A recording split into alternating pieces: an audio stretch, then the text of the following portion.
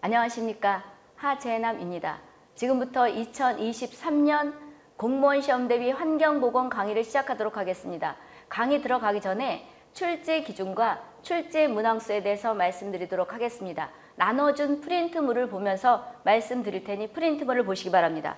프린트 보게 되면 어떻게 써 있는 거냐 환경보건학의 수업 진행 방법 그 1페이지에 있지요. 수업 진행을 어떻게 하고 그 다음에 한 장 넘어서 2페이지는 출제 유형이라든지 난이도 이게 써져 있죠. 그러면 수업은 어떻게 할 것인가 이거에 보게 되면 첫 번째 교재가 있죠. 교재는 크라운 출판사 2023년판으로 진행이 된다. 이렇게 써 있지. 그래서 크라운 출판사 환경보건 2023년판 이렇게 돼 있고요. 그러면 교재를 가지고 어떻게 수업을 할 것인가가 양가로 두 번째 어떻게 돼 있느냐면 우리가 이론 수업이 있고 그 다음에 세 번째 보게 되면 문제풀이 이렇게 수업이 진행된다는 거예요. 2023년 대비해서는 그럼 이제 이론은 거기에 기본반과 기본이라는 것은 기본반을 의미하는 거예요. 그리고 심화는 심화반을 의미하는 것이고 그러면 환경보건학은 여러 우리가 보게 되면 지역마다 차이가 있어요. 그러니까 심화를까지 들어야 되는 우리가 보게 되면 시험 보는 지역도 있고 그 다음에 우리가 보게 되면 기본만 들어도 되는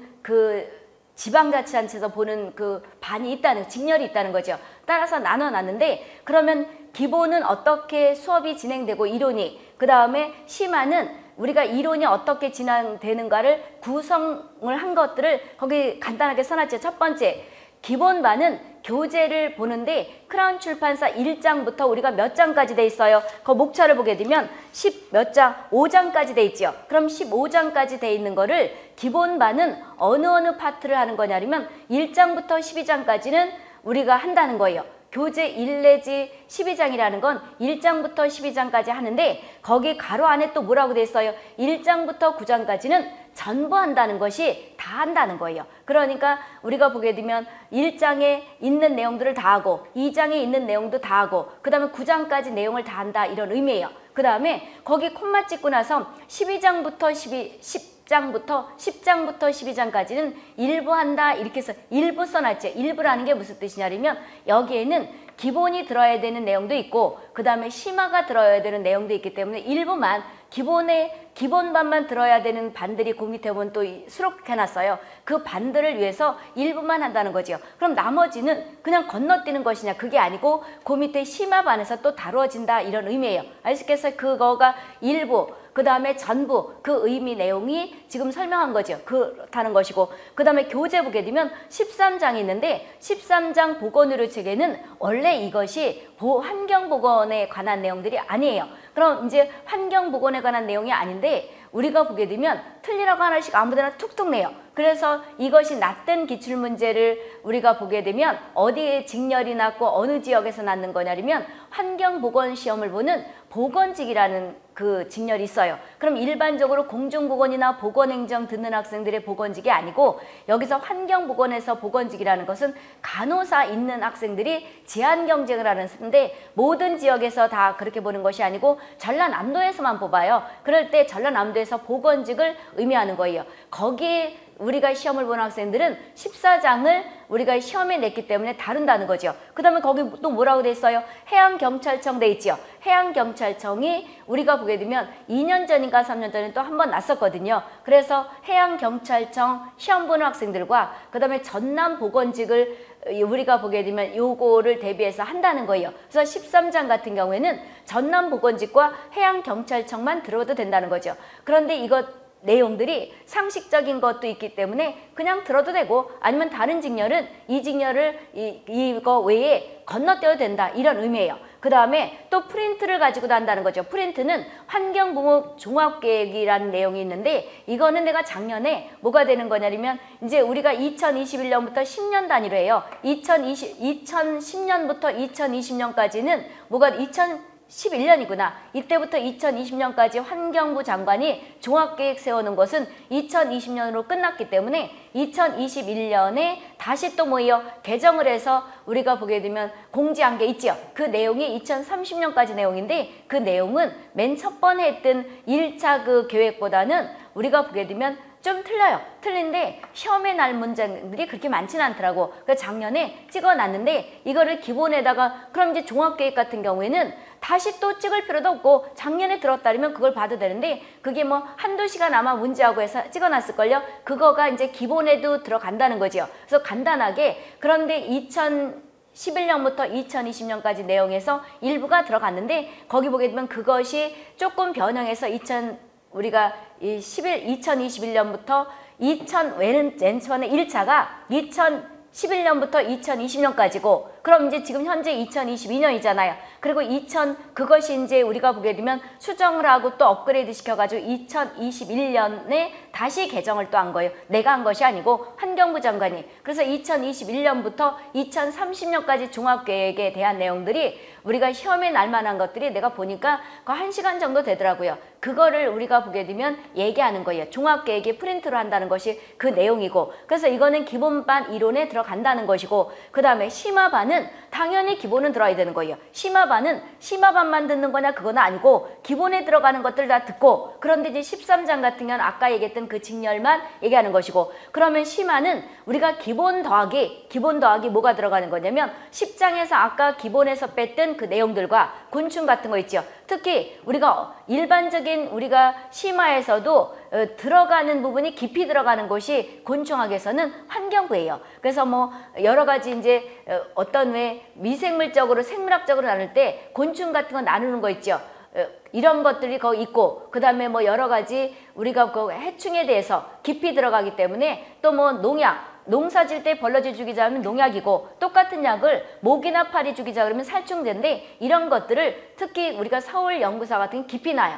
그렇기 때문에 그런 걸 조금 다룬다는 거예요. 심화를 기본 때 안 했던 그 장에 있는 내용들을 더 깊이 한다는 그런 의미예요. 그 다음에 우리 그래서 이제 학원에서 동영상 우리가 편집할 때 그렇게 한다는 거죠. 그리고 나눠서 내가 찍으니까 그렇게 한다는 거죠. 그 다음에 11장, 19미생 같은 거. 그럼 우리가 11장 같은 경우에는 기본은 안 들어도 되는 것인가? 그거 일부를 하지만 우리가 보게 되면 다 들어도 돼요. 심화에 있는 걸. 왜 그러냐면 우리가 기본반에 들어가는 반들이 전남과 그 다음에 특성하고 이런 학생들이 듣는 거거든요. 근데 그런 학생들은 식품을 우리가 공중보건학에서 더 많이 해요. 그러니까 일부만 하고 나서 심화를 내가 돌린 거예요. 그래서 식품이 우리가 이론에서 기본반에 안 했던 걸 더 깊이 한다는 것이고 12장 있죠. 12장도 우리가 보게 되면 기본에서 안 했던 걸 더 깊이 다뤄요. 특히 환경부나 우리가 보게 되면 해양경찰청 같은 경우에는 상당히 깊이 나요. 그래서 여기서 음, 우리가 많은 내용을 다룬다 그런 의미예요. 그 다음에 교재는 또 어디가 또 추가되는 거냐면 14장부터 15장 있죠.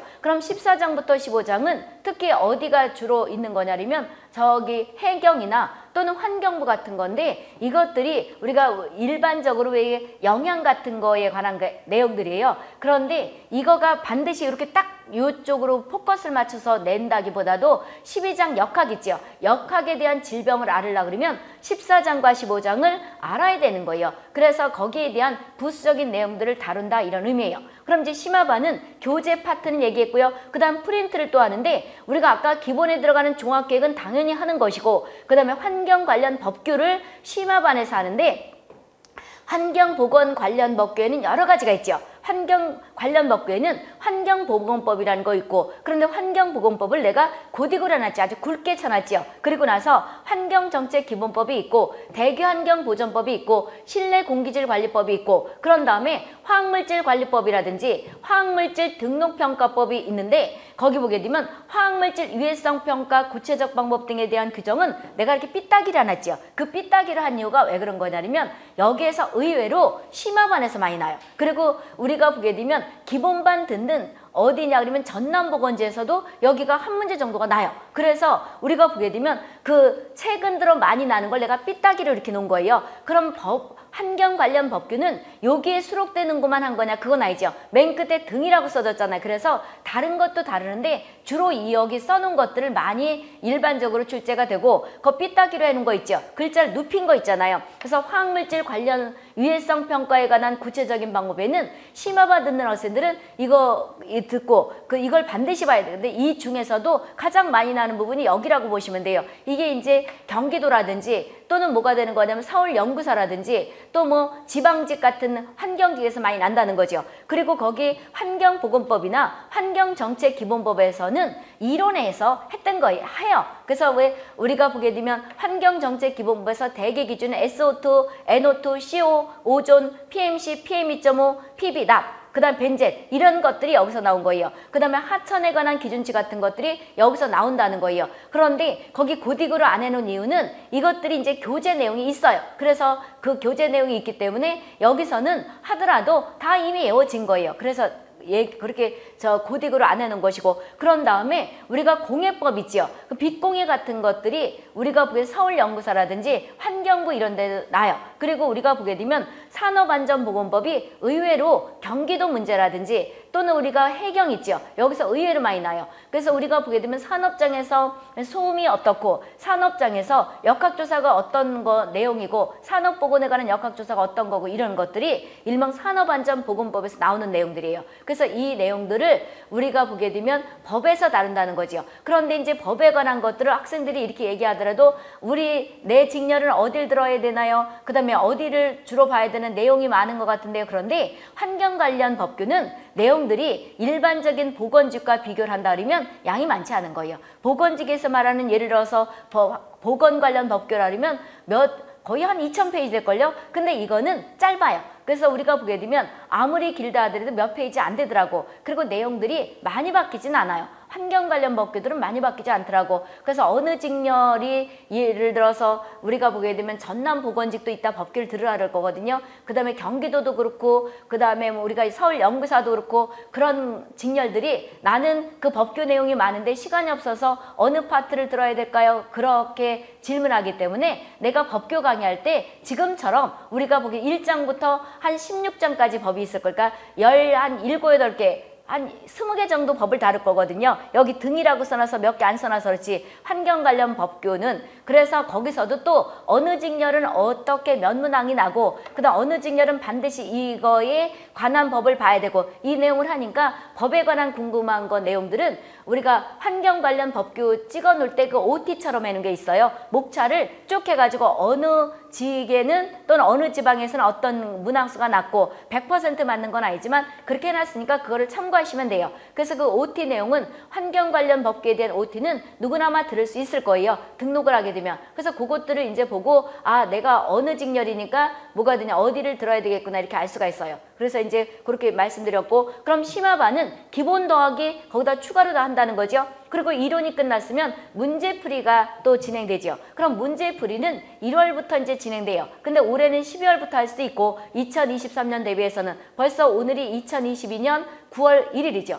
세월 참 빠르죠? 그래서 문제풀이는 어떻게 진행되는 거냐면 여기도 기본 문제풀이반과 심화 문제풀이로 진행돼요. 그럼 기본 문제풀이는 어떻게든 단원별 문제풀이가 있는데 이 단원별 문제풀이라는 건 쉽게 말하면 일장에 대한 문제들이 뭐가 돼 중요한 게 있다면 일장 내용 쭉 수록해서 문제 뽑아서 놓고 그 다음에 이장 내용 있고 이렇게 해서 된 것들이 단원별 문제풀이라는 거예요. 그런데 여기 단원별 문제풀이는 어떻게 문제가 되는 거냐면 여기 거 써놨다시피 우리가 기출문제 및 예상문제로 우리가 문제를 뽑아서 하는 거예요. 근데 프린트로 나간다는 거죠. 그럼 이제 우리가 이렇게 이해를 하시면 돼요. 우리가 기출문제가 중요해요. 그런데 요즘은 공개를 하는 직렬도 있고 공개를 안 하는 직렬도 있고 그런데 기출문제를 원래 공문이 오게 되면 똑같이 못 베끼게 돼 있어요. 그렇지만 우리가 기술계 같은 경우에는 하늘에 뚝 떨어져 가지고 내가 무슨 연구해서 내 기도 어렵단 말이에요. 내가 하늘에 뚝 떨어지는 사람도 아니고 우리가 보게 되면 나도 윗사람들한테 중요한 것들을 배웠으면 내가 또 가르칠 때 중요한 것들을 아랫사람들한테 가르치는 거지요. 그렇기 때문에 시험을 똑같이 시중에 있는 내용을 우리가 보게 되면 베끼지 마시오. 그 다음에 이런 내용들이 공무원 출제 의뢰 들어오면 거기 써져 있어요. 주의사항 같은 게. 그런데 이거를 시중에 없는 것들을 내기는 쉽지가 않아요. 왜 그러면 한 문제당 요즘 같은 경우는 지역마다 드린다 한 10만 원씩 주거든. 근데 많은 돈이 아니에요. 문항이. 왜 그러면 한 문장만 한 문제 하나 만들려면 한나절은 걸리거든요. 몇 시간 걸리거든요. 그리고 이것들이 오타가 있나 또는 시중에 있는 것과 비슷하게 낼 수는 있지만 똑같이 이것들을 중복해서 내지 못하니까 생각을 많이 해야 된단 말이에요. 그런 보다 보면 많은 시간이 투자돼요. 그래서 시중에 있는 문제를 조금 변형을 해요. 보기를 바꾼 특히 해경 같은 경우에는 여 크라운 출판사에 있는 문제를 거의 그대로 나기도 하잖아요. 똑같이 내기도 해요. 그래서 이제 나중에 얘기를 할 건데 그렇게 했는데 이제 순서를 바꾼다든지 앞뒤 문장을 바꾼다든지 이러더라도 똑같은 문제라고 아닌 거다. 이렇게 여기서는 다른다는 거죠. 그래서 기출 문제가 중요하지만 아주 토시까지 똑같진 않다는 거죠. 그리고 우리가 보게 되면 책들을 보게 되면 뭐 시중에 기출 문제집 나왔지요. 근데 크라운 출판사에 뒤에 보게 되면 기출 문제가 내가 처음부터 이게 환경보건도 문제집도 쓰고 했었잖아요. 그럼 뒤에 기출 문제 수없이 그 몇 회가 있지 거의 20년 거가 있잖아요. 그럼 그게 시중에 있는 건데 뭘 굳이 돈도 없는데 굳이 사가지고 시중에 있는 기출문제집 이런 것들은 다 상술이에요. 이 책만 완전히 충분히 소화를 시키면 모든 문제를 풀 수 있다는 거지요. 우리가 보게 되면 그리고 실제 시험 가면 100점 못 맞아요. 왜 그러냐면 난이도가 있다고 얘기했던 거지요. 그래서 우리가 보게 되면 한 50%는 쉬워요. 그 다음에 70점 맞게는 조금 어려워요. 중간 뛰기가 60점이고 그 다음에 우리가 10% 정도 그러니까 20문제 면 한두 문제는 무지 어려 어마어마하게 어려운 문제를 내요. 상당히 어려운 걸 내요. 그러니까 맨 첫 번에 2020, 2019년인가 그때 해경에서 쓸데없이 환경보건과 관련 없는 의료제도를 냈다는 거지요. 그래서 우리가 보게 되면 자유방임이냐 아니면 국가보건서비스냐 이런 것들이 원래 환경보건책에 없는 거예요. 그런 걸 내는데 그 이제 났으니까 이거를 다루는 거지 나지 않을 땐 그걸 안 다뤘단 말이에요. 그러니까 이거는 재수가 좋으면 우연찮게 맞는 거지 찍어서 막을 수, 맞을 수 있는 것이고 그렇지 않으면 못 맞추도록 내는 거예요. 그래서 우리가 되면 100점은 못 맞을 거예요. 재수가 좋으면 맞을 수 있지만 그러니까 이것들을 우리가 보게 되면 여기에서 기출문제와 그 다음에 기출문제와 유사하게 또 만들어서 프린트로 진행된다 이런 의미가 되는 거예요. 그 다음에 모의고사형 문제풀이가 있지요. 그럼 본인들이 이론을 배우고 나서 이거가 뒤에 바로 밑에 우리 책에도 보면 수록되어 있는 것들이 일명 우리가 단원별 문제라는 거예요. 그런데 암기할 때는 단원별 문제로 외우는 게 훨씬 더 쉬워요. 왜 그러냐면 똑같고 비슷한 문제를 두 번 우리가 푸는 것과 막 섞어 놓으면 완전히 이해를 못 했는데 모의고사라는 것이 막 섞어 놓는 거잖아요. 근데 본인들이 시험 가면 우리가 1장에 있는 문제 냈다 그러면 1번, 2장에 있는 문제를 냈으면 2번 이렇게 하진 않죠. 막 섞어놔요. 그런데 섞어 놓아가지고 하는 것들이 모의고사인데 이것도 우리가 풀어봐야 돼요. 왜 그러냐면 실전에 임하기 위해서는 우리가 책에 있는 1장 끝나고 나서 바로 뒤에 있는 그 내용들은 단원별 문제풀이라고 보시면 돼요. 암기를 하기 위해서는 본인들 머릿속에 암기하기 위해서는 단원별이 쉬워요. 그리고 잘 외워져요. 이러고 나서 완전히 소화를 시키고 나서 모의고사형 문제를 들어야지 모의고사는 단원별 문제풀이 이론이 기본이 안 됐으면 단원별은 너무 어렵고 정신이 없어요. 그래서 우리가 뭐 시중에 있는 문제집도 가만히 본인들이 보라니까 다 비슷비슷해요. 그런데 우리가 보게 되면 내가 맨 첫 번부터 환경보건을 환경보건이라는 그 내용이 옛날엔 없었어요. 공무원에서. 그러다가 90년대 우리가 중반부터 환경보건이 들어간 거거든요. 그래서 그 당시 우리가 보게 되면 이것 을 맨 첫 번에 책을 쓰고 내가 문제를 했단 말이에요. 문제집을 냈단 말이에요. 그리고 시중에 지금 많지요. 내 책 이것저것 짜집게 하고 그냥 딴 데도 짜집게 해가지고 하다 보니까 똑같이 수록하다 보게 되면 저작권법이 걸리죠. 그러니까 순서를 바꿔놨단 말이에요. 그럼 순서 바꿔놓으면 그게 제대로 들어오느냐? 안 들어와요. 그래서 내용을 어떻게 우리가 편집했느냐도 상당히 본인들 머릿속에 이해하는 거에서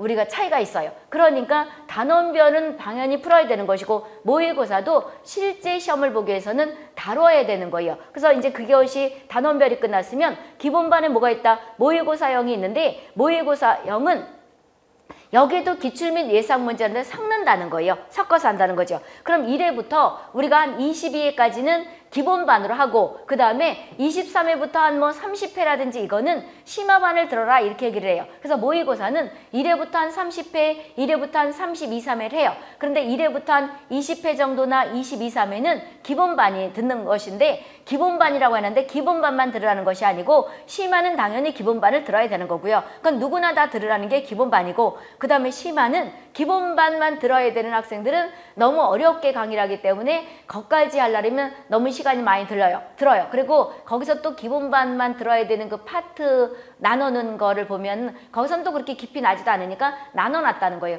시간이 있어서 그냥 들어야 되겠다면 들어도 되고 이랬던 건데 그 의미죠. 그래서 기출 및 예상 문제로 모의고사 이렇게 섞어서 프린트로 한다는 거죠. 1회부터 한 1회간 20문제씩 되는 건데 22회까지 모의고사가 되는데 이것이 이제 기본반으로 진행된다는 것이고 그 다음 환경보건 종합계획은 기출문제 풀이에서 일부 문제에 집어넣어요. 내가 집어넣는다고. 그리고 새로 2021년부터 어, 환경부에서 2030년까지 한 종합계획에는 시, 아까 얘기했다시피 시험에 날 만- 문항들이 문제들이 많지가 내용들이 많지가 않더라고. 그래서 문제 풀이 아마 집어넣을 거예요. 집어넣으니까 그렇게 참고로 알아두시고 그 다음에 심화 문제 풀이는 아까 거기 있다시피 기본처럼 단원별 문제 풀이를 이제 우리가 심화에서는 별도로 또 해요. 이것도 기출 및 예상 문제를 한다는 거죠. 그리고 모의고사형은 모의고사가 이제 1회부터 22회까지 있죠. 그 뒤에다가 붙여요. 뒤에다 붙여가지고 예를 들어서 1회부터 20회다 그러면 여기가 기본반이다 놓고 21회다 그러면 21회부터 우리가 보게 되면 뒤에 뭐 30회라든지 35회까지는 우리가 심화반이다 이렇게 써놔요. 그런데 이것이 뭐 지금 여기에 있다시피 1회부터 22회는 기본이고 23회부터 25회는 우리가 심하다 이렇게 진행되는 것이 아니고 예를 들어 그렇다는 거예요. 그런데 보통 한 모의고사는 30회나 또는 32, 3회까지는 가요. 근데 1회부터 한 20이나 23회까지는 기본이 되고 뒤에는 우리가 심화가 된다 이런 의미로 해석하시면 이해하시면 돼요. 그리고 여기에는 반드시 종합계획이 문제풀이 하고 이론이 있는데 심화반은 당연히 들어야 되는 것이고 그래서 이거는 우리가 보게 되면 또 단원별의 문제 풀 때도 다뤄요. 다루니까 이제 한 두세 번씩 다뤄진다는 거죠. 그리고 환경 관련 법규는 아까 우리가 보게 되면 이론에서 붙여놨는데 이것들은 이제 별도로 아마 해놨을 거예요. 이걸 당연히 문제풀이 프린트로 하라는 거죠. 그럼 이제 문제풀이는 이렇게 진행되고 그리고 거기 국민안전처에 대한 조직이 뭐로 바뀌었어요? 해양경찰청으로 바뀌었지요. 그래서 기출문제 우리가 보게 크라운 출판사 뒤에부터는 국민 우리가 안전처에 대한 시험이다 이것들은 맨 첫 번에는 해양경찰청이었어요. 그러다가 어, 박근혜 정부에 또 사고 나면서 국민 어, 안전처로 바뀌었다가 또 우리가 문재인 정부 되면서 해, 해양경찰청을 또 바꾼 거예요. 그래서 우리가 해양경찰청 문제나 국민안전처 우리가 문제나 똑같다 이렇게 생각하면 되는 거예요. 그래서 이제 그거를 조직 개편에 따라서 한 거니까 근데 우리가 해경은 지금 현재는 해양경찰청이죠. 문제를 공개를 해요. 근데 문제 공개하는 것들은 의외로 더 쉬워요. 이렇다는 것이고 그래서 그 조직 개편을 써놓은 것이고 그럼 이제 수업 진행은 말씀드렸고요. 그 다음에 한 장 넘어서 출제 유형과 난이도를 적어놨죠. 출제 유형에는 양가로 첫 번째 뭐라고 돼 있냐면 환경보건이라는 것이 있고 양가로 두 번째 뭐가 돼요? 환경위생학이라는 게 있죠. 그럼 환경보건학과 환경위생학은 같은 말이라고 보시면 돼요. 무슨 어떤 의미냐면 이것도 또 시험에 한 번 났던 거예요. 우리가 맨 첫 번에 90년도 90년도 초반 때는 환경위생학이라는 과목으로 공무원에서 냈었어요. 근데 무, 저기 김영삼 정부 되면서 위생이라는 개념은 독일어원이에요. 독일어원인데 우리가 독일의 그 여러 가지 위생 개념 같은 걸 따른 게 누구냐면 아시아에서 일본이에요. 그럼 일본이 우리나라 침략했을 때 우리나라 여러 가지 사상 같은 걸 바꾸면서 또 여러 가지 조직 같은 것도 위생이라는 말을 썼던 거예요. 그러면서 우리가 환경 위생학 또는 무슨 위생학 이렇게 쓰다가 김영삼 정부 때 김영삼 대통령이 일제문화 청산하면서 다 싹쓸이하고 없애면서 공무원 시험도 환경위생학이었던 거를 환경보건학으로 바꾼 거예요. 그럼 보건은 어디의 어원이냐면 미국의 어원이에요. 그럼 미국의 이것도 시험에 냈던 거예요. 보건은 누구의 어원이다? 우리가 독일 어원이에요? 아니면 미국이에요? 미국이에요. 그래서 일명 환경보건학으로 공무원 시험을 또 우리가 바꿨던데 어느 정부 되면서 지난 우리가 보게 되면 정부인지 아니면 이 서울 같은 경우는 환경보건학은 많이 내질 않았었거든요. 근데 서울 같은 경우에도 맨 첫 번에 90년대 초에는 환경위생학으로 났다가 그 다음에 우리가 보게 그 당시는 환경직 같은 데 다 냈었거든요. 그러다가 환경보건으로 우리가 김영삼 정부 됐다가 서울을 예를 든다면 바뀌었다가 그 다음에 여기 무슨 지금 시장 말고 우리가 전 시장, 박 시장 있을 때 그랬는지 환경위생학으로 어느 날 쭉 바뀌었어요. 그러면서 연구사가 환경위생을 하지요. 그 김영삼 대통령 깊은 뜻을 모르고 누가 그렇게 바꿨는지 과목을 위생으로 바꾼 거예요. 그래서 일제문화 청산한 것들 다시 도도, 도돌이표로 들어온 거지요. 그래서 환경위생학 내용이나 환경보건학 내용은 같다고 보시면 돼요. 그래서 이제 그렇게 써놨는데 그럼 환경보건학이라고 공무원 시험에 나는 그 우리가 보게 되면 직은 어디냐면 환경부, 환경부는 국가직이지 그렇죠? 환경부는 환경직이라고 나는 것에 환경보건학이 들어간다는 거지요. 그런데 우리가 보게 되면 환경직이라고 동그라미 두 번째 나는 곳에 또 지방직이지요. 지방직이 있는데 여기에 이제 해양경찰청도 국가경찰 국가직인데 우리가 사지냐 객관식 사지냐 오지냐에 따라서 나누는 거예요. 그럼 우리가 환경부는 문항수가 50문제예요. 50문제를 낸다고. 근데 객관식 오지예요. 그래서 오지라는 건 우리가 일, 다음 중 보기 중에서 찾으시 어릴 때 1번, 2번, 3번, 4번, 5번까지 있는 게 오지죠. 객관식 오지를 우리가 해서 낸다는 거예요. 그런데 그 문제 수가 1번 문제, 2번 문제, 3번 문제, 4번 문제에서 50문제가 되는데 50문제가 되다 보니까 낼 것이 별로 없어요. 그래서 의외로 환경보건에 관한 내용 중에서 아까 우리가 1장부터 15장까지 했지만 우리가 거의 10장까지는 어 아니 9장까지 9장까지는 어디랑 비슷한 거냐면 환경공학과 비슷해요. 그러니까 환경 직렬 학생들은 쉬워요. 그런데 또 우리가 보게 되면 보건직 있지 이따가 얘기하겠지만 전남보건직을 뜻하는 거예요. 이 학생들은 또 그게 어려워요. 근데 우리가 전남보건직이나 특성화 고등학교 같은 경우에는 우리가 뒤에가 또 쉬워요. 역학이라든지 식품은 공중보건학에서 하니까 근데 앞에 있는 또 우리가 물이라든지 대기라든지 폐기물 이런 게 어렵다고 해요. 그래서 환경보건을 듣는 직렬은 학생 수가 많지가 않은데 우리가 보게 되면 파트가 상당히 이렇게 나눠져 있어요. 그러니까 우리가 애매하다는 거죠. 그래서 여기서 보게 되면 환경부는 우리가 환경보건으로 난다는 거죠. 환경직 환경부는 오진대 객관식 오진대 여기서 보게 되면 기본 반을 들어야 되고 기본에 있는 이론과 기본 문제풀이를 들어야 되고 그러니까 어디를 들어야 될까요? 이렇게 물는 학생들을 대비해서 얘기하는 거예요. 그래서 환경부에 들어가는 환경직 듣는 환경보건을 듣는 학생들은 우리가 보게 되면 기본 이론 환경부는 어, 선택이 아니에요. 필수로 환경보건 들어야 되는 거죠. 기본 이론과 기본 문제풀을 듣고 그 다음에 심화에 들어가는 그 심화 이론과 심화 문제풀을 들어야 된다 이런 의미예요. 그 다음에 세 번째는 종합계획에 이론과 문제풀이 당연히 들어가야 되는 것이고 법규도 당연히 들어가야 되는 거예요. 환경 관련 법규 왜 이렇게 법규를 나중에 법규는 별도로 또 해놨잖아요. 거의 한 18인가 그러니까 예를 들어서 환경정책기본법이 1장이다. 대기에 관한 법이 2장이다 그랬다면 1장부터 한 20, 20장까지 갈, 될걸요. 그 많은 법이 우리가 보게 되면 직렬마다 다 틀리기 때문에 사, 이렇게 합쳐져서 그래요. 그래서 해경 같은 경우에는 산업안전보건법이 많이 난다든지 또는 우리가 환경부는 우리가 빛공해라든지 또는 환경정책기본법은 어느 직렬이나 다 나고 또 환경부 같은 경우에는 또 우리가 대기 파트 같은 데 나기도 하고 대기 오염 에 관한 법도 나고 이래서 보는데 환경부 때문에 이 기, 법에 관한 내용들이 넓어진 거라고 보시면 돼요. 당연히 환경 관련 법규 내용을 다 들어야 된다는 거죠. 그리고 아까 삐딱이 써는 건 아까 얘기했다시피 그 부분에서 많이 난다는 거예요. 그래서 이런 것들이 쭉 들어야 된다는 것이고 그 다음에 환경직은 우리가 지방직이 있고 해양경찰청, 해양경찰청은 국가직이 되는 거죠. 그럼 지방직은 어디냐면 여기서 필수가 되는 그 지역도 있고 아마 선택을 해야 되는 것이 있는데 경기도는 작년부터 이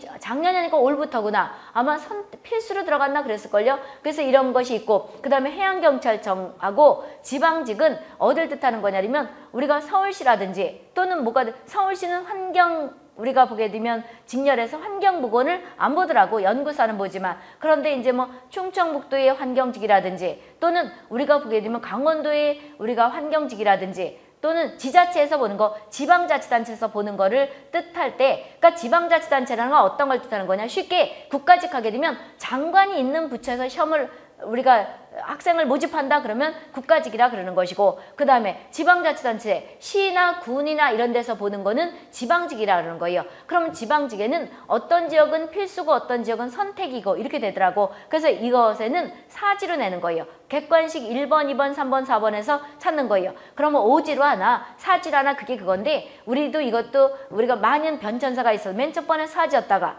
지방직이든 국가직이든 오지로 바뀌었다가 다시 사지로 됐다가 또 오지로 됐다가 내가 공무원 가 기 지 몇십 년 됐으니까 그러다가 또 사지로 바뀌었는데 우리가 어, 몇개 우리가 국가직만 환경부라든지 보건복지부 여기는 아직까지도 사, 오지로 돼 있죠. 그리고 다 사지를 또 바꿨지요. 그러면 이제 여기서 기본 이론과 기본 문제풀이 들으라는 것이고 어, 환경지기에서 해경도 마찬가지로 종합계획 들어야 되는 것이고 법도 들어야 되는데 법에서는 여기서 위에 거랑 환경부랑 똑같이 해놨지만 거기 법에 관한 아까 얘기했다시피 OT에 가면 또 어느 직렬이 많이 난다 문항수 같은 것도 있으니까 그걸 참고하시면 되고요. 그런 다음에 또 우리가 보건직은 우리가 보건직이라고 하는 것이 또 두 개로 나눠져 있지요. 여기에 보건직은 공중보건이 들어가는 보건직이 아니 에요. 별도의 보건직이지요. 그래서 여기서 우리가 전남 경, 경력 경쟁 그랬지요. 그래서 이거 이 지역은 간호사 자격증이 있는 학생만 보는 걸 뜻하는 거예요. 그런데 간호사 있는 학생들이 우리가 보건직이라서 우리가 보게 되면 제한 경쟁을 시키는데 환경 보건을 필수로 들어요. 들어 봐요. 그런데 의외로 또 여기는 쉽게 나요. 그래서 기본만 간호사 있는 학생들이 보는데 우리가 사질, 객관식, 사지라는 것은 객관식 사지로 한다는 거죠. 그리고 기본반 여기서 보게 되면 이론, 기본 이론 듣고 종합계획을 또 들어야 돼요. 종합계획 들어야 되고 환경 관련 법규도 다 듣는 것이 아니고 거기서 몇 개만 들으면 된다는 거예요. 그래서 거기에다가도 OT에도 아마 전남보건직은 안 됐자니 그렇고 또 한두 문제가 나요. 그래서 환경보건이라든지 환경 정책 기본법이라든지 실내 공기 질환법이라든지 화학물질 평가법이라든지 이런 것들을 들으면 된다는 거죠. 시간이 있으면 다 됐지만 이렇게 들으면 우리가 어느 정도 우리가 문제 없이 문제를 어, 시험 문제를 풀 수 있다는 것이고 그 다음 보건직이 또 하나 있죠. 마이스터고라든지 특성화고 같은 경우에 우리가 보게 되면 어떤 대학을 안 가고 우리가 바로 시험을 본다든지 또는 우리가 기술계를 뭘 하게 한 거냐면 저거 학생들이 누구나 다 대학 가니까 이런 것들을 조금의 우리가 보게 되면 어, 고등학교 나와서도 산업 현장에 투입하기 위해서 하는 고등학생들이 있죠. 이 고등학생들이 보건직을 별도로 한 학교에서 한 명씩 뽑아서 봐요. 그러니까 여특성화 고등학교 같은 데 있지요. 그랬을 때 뭐 전산을 전공한다든지 고등학교에서 그러니까 옛날로 말하면 왜 상업계다 이런 말 들어봤을 건데 요즘은 그런 말이 없었지요. 그래서 그 학교에서 한 명씩 뽑아가지고 서울에서만 봐요. 딴 데서 보는 것이 아니고 그래서 각 학교마다 한 명씩 뽑아가지고 그러니까 1등하는 학생들 뽑겠지요. 그래서 서울에서 보는데 1년에 거의 한 10월 달에 한 번 못 걸려 이 학생을 일명 보건지 우리가 특성화 고등학교 얘기하는 거예요. 객관식 사지가 되는 거죠. 그런데 이 학생들은 기본만 들으면 돼요. 기본만 들으면 된다고. 기본 이론과 기본 문제풀이만 들으면 되는 거예요. 이 학생들은 그러면서 이렇게 구성됐고요. 그 다음 환경위생학이라고 나는 그 직렬은 서울연구사만 그래요. 서울연구사 그런데 서울연구사는 우리가 많이 뽑질 않고 해마다 보는 게 아니에요. 한 2년에 한 번, 어떨 때 3년에 한 번. 그래서 수요가 많지가 않은데 내용은 이 우리가 지금 다루는 환경보건학 내용과 똑같다고 보시면 돼요. 그래서 기본반 들어야 되는 것이고 기본의 기본 이론과 기본 문제풀이 당연히 들어가야 되는 것이고 심화 우리가 보게 되면 심화 이론과 심화 문제풀이 들어야 되는 것이고 종합계획 들어야 되는 것이고 그 다음에 환경 관련 법규 당연히 이론과 문제풀이 들어야 되는데 그 과목 은 우리가 환경법규에서 아까 얘기다시피 쭉 써놨지요. 그래서 이렇게 해서 우리가 위생학이나 환경보건학이나 환경위생학이 같은 내용이라고 보시면 돼요. 그런데 이제 지방자치단체라든지 또는 국가에서 시험 볼 때 그 말이 조금 위생이냐 보건이냐 이렇게 써놔서 그렇지 똑같은 내용이라고 보시면 돼요. 그럼 옛날에 비해서 우리가 보게 되면 90년대, 2000년대 초반보다는 난이도가 상당히 높아졌어요. 그런데 난이도가 높아졌다 하더라도 이게 무슨 소설을 쓰는 게 아니잖아요. 그렇기 때문에 우리가 그런데 옛날보다는 높아졌어요. 내가 강의를 하다 보니까 상당히 특이한 것들도 많이 내고 그래요. 그래서 100점 못 맞게 한단 말이에요. 그런데 우리가 보게 되면 100점 못 맞게 하더라도 또 이게 있어요. 난이도에서 10%는 아주 어렵게 낸다는 거죠. 그렇지만 이 어려운 난이도도 이것이 반드시 이 직렬에 근무할 때 필요한 것인가 또 상중하가 있거든요. 그렇기 때문에 어렵더라도 그것도 필요한 내용들이에요. 그러니까 우리가 보게 되면 아주 난이도가 높아져가지고 접근을 못할 정도는 아니라는 거죠. 그리고 이것은 기술계이기 때문에 출제되는 부분이 어느 정도 정해져 있어요. 아무리 어렵다 하더라도 조금 더 깊이 갈 뿐이지. 따라서 우리가 지금부터 각 장이지요. 우리 책에 있는 각 장부터 우리가 출제 문항수 나는 파트를 우리가 보게 되면 말씀드릴 테니 책의 목차를 펴시기 바랍니다. 그러면 일장 페이지 책 보게 되면 문항수를 대충 반드시 이렇게 딱 난다고 볼 수는 없지만 대충 우리가 난이도를 보게 되면 이렇게 나더라는 거지요. 그래서 거기 6페이지가 있지요. 환경보건 개념은 90년대 초에 나섰어요. 그다 안 나더니 작년 작년에 그러니까 2021년, 2020년, 이, 그 다음에 2021년, 2019년 여기 한 문제가 나요. 한 문제가 어떻게 나는 거냐면 환경 보건 듣는 보건직 있죠. 전남과 특성화고등학교에서 나더라니까. 그래서 환경보건 개념은 한 문제 정도.